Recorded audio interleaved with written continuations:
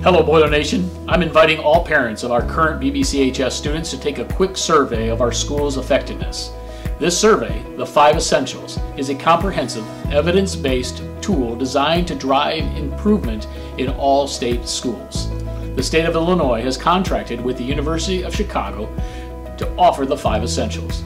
I'd love to hear your opinion of how BBCHS is doing and what we can do to improve.